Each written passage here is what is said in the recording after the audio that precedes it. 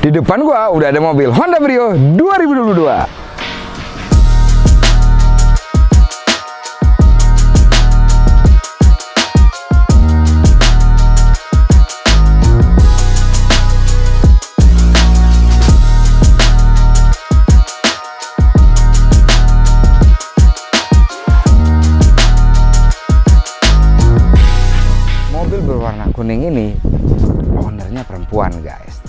Ini salah satu customer kita yang di toko Balikpapan namanya toko Drakpok.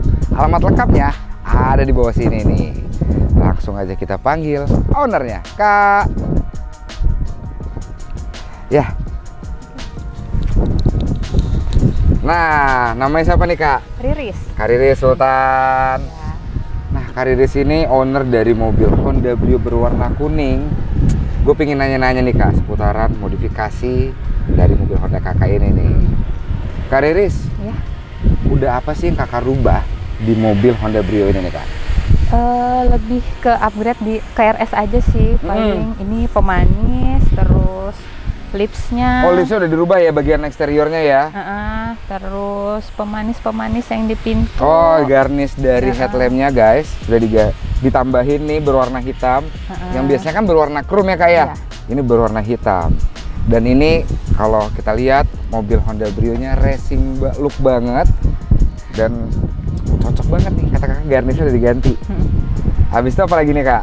Eh, spoiler. Spoiler udah diganti. Nah, Wah spoilernya tambahin. menggunakan yang apa nih? Yang Mugen. Yang Mugen guys. Nah kalau kita lihat di bagian sini, tuh. Nah standarnya kan berbeda. Ini Honda Brio nih kalau yang tipe Satya tuh nggak ada. Ini tambahan dari Ya. yang Mugen. Nah kalau yang dari pintunya ini udah perubahan juga ya kak ya? Udah ditambahin. Udah ditambahin. Ya. Jadi biar nggak lecet. Jadi pemanis. benar, pemanis modifikasinya itu selain penambahan juga ada manfaatnya. Manfaatnya apa? Khas renak kuku ya kak ya? Iya. Nah, ini biar aman guys. Nah, selanjutnya nih kak, Mm-mm. di bagian eksterior, eksterior lagi nih. Kayaknya ada yang berubah bagian depan. Nah, depannya ini kakak tambahin set ya? Iya. Nah, ini guys, dia add on. Biar ini Biar apa?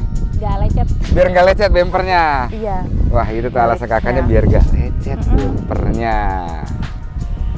Untuk bagian depan, grillnya berbeda nih kak. Gedungnya ya udah Ini diganti pakai punya, punya RS. oh punya Brio RS. Brio RS. Dan biar terlihat lebih maco dan lebih sporty. Emblemnya juga diganti berwarna merah. Nih berwarna merah, RS sebelah Ada sini. RS-nya. Dan ada. ini udah penambahan juga kayak. Iya, udah ditambahin. Kalau standarnya mobil Honda Brio kan dia tertutup dan ada lubangnya tuh. Heeh. Nah ini penambahannya biar untuk towing. Itu tuh guys. Simple tapi berkesan modifikasinya nih.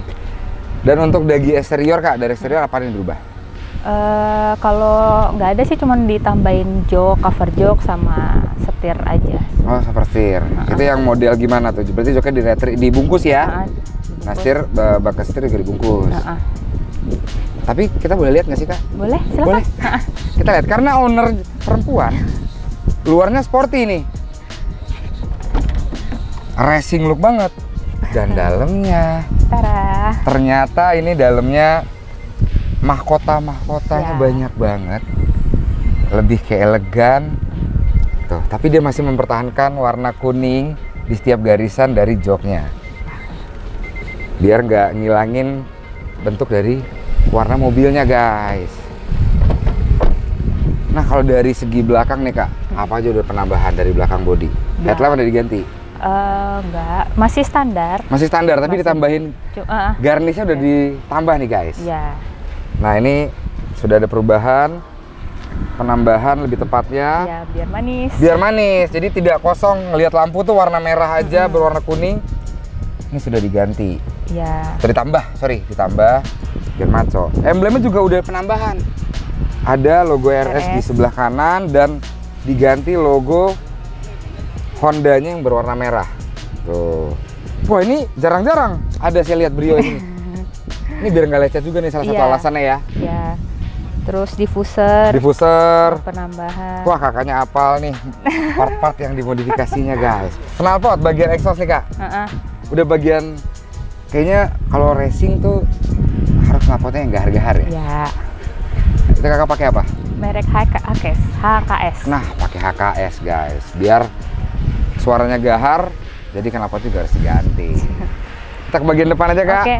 Ini panasnya agak Cetar. mendingan tapi agak panas nih kak cetar.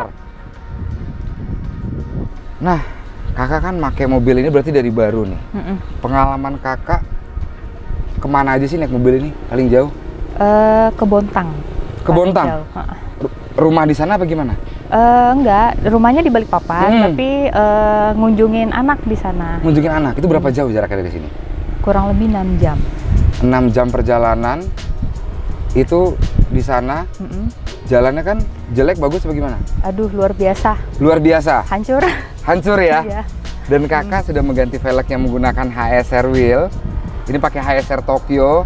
Gimana nih? Pengalaman kakak kan ngerasain jalannya nih tuh. Pakai velg HSR gimana? Mantap sih, lebih nyaman aja Mm. bawanya nggak apa ya, nggak lebih stabil aja sih. Lebih stabil aja. Mm. Dan kakak juga di sini kan dari standar ring 14 ya. Iya. Naik ke ring 15. Yang jalannya kalau menurut gua Balikpapan ini jalannya mulus, tapi kalau untuk daerahnya yang Mm-mm. agak lebih lubangnya lebih banyak karena dilewatin mobil-mobil gede guys. Tapi jauh nih mobil ke Bontang 6 jam perjalanan tuh sekitar berapa kilo kak? 300 ada ya? Ada. 300 kilo loh. Wah, kakak sendiri pengalamannya di toko kita kak di Darkwalk gimana sih kak pengalamannya kak? Pelayanannya sih bagus ya Mm. gitu. Terus eh, apa sekecil apa pun ada case gitu dilayaninnya tetap Ah. ramah banget gitu sampai bener-bener kitanya sendiri pun nyaman bawanya gitu Ah. sama yang apa yang kita keluhkan ke sana. Wah, gitu. cakep. Terima kasih banyak nih kak. Dan nah, kakak kan udah pakai HSR udah lama nih. Heeh.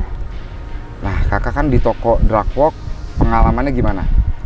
Nyaman sih eh, Mm. pelayanan sana tuh ramah. Mm. Eh, kita kenda- ada kendala misalnya ada kurang nyaman gitu. Kurang angin gitu. Ah, kurangin gratis di Gratis, situ kan. ah. Ah, terus lu eh, apa?